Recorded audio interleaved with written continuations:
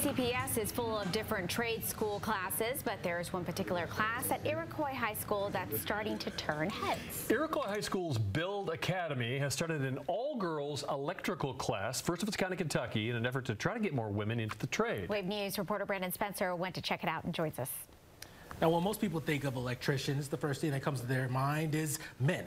But this all-girls class at Iroquois High School is hoping to change that stereotype and bring forward a whole new wave of female electricians to light up the industry. Some of Iroquois High School's finest took to their state-of-the-art electrical lab Monday, but the class might not look how you think. The industry is mostly male-dominant, but this class is full of all girls.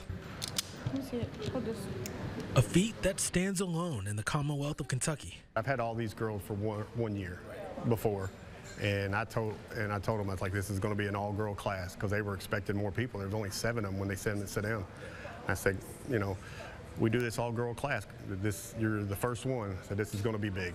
Not only because it's the first of its kind, but because it helps the students feel better about what they're trying to accomplish. It's more comfortable when you know people and more females in here. You just feel comfortable and we work together with our, our, our, stuff that we're doing.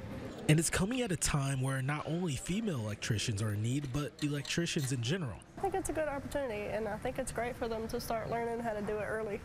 Marianne Best is a master electrician and is currently one of the only female certified electricians at her company, Corrigan.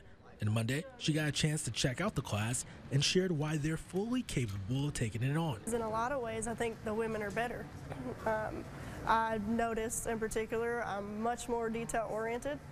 When I come up to a homeowner that's a female, she loves me.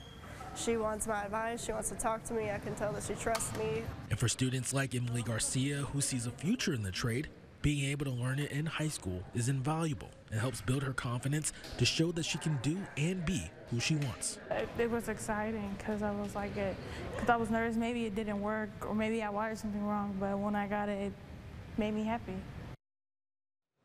The school is hoping this class will start a domino effect to get more females involved in the electrical trade. And I asked Garcia if she sees herself making this a lifelong career, and she told me yes, she does, and that she hopes to get certified, get her apprenticeship, and eventually work for her dad's construction company.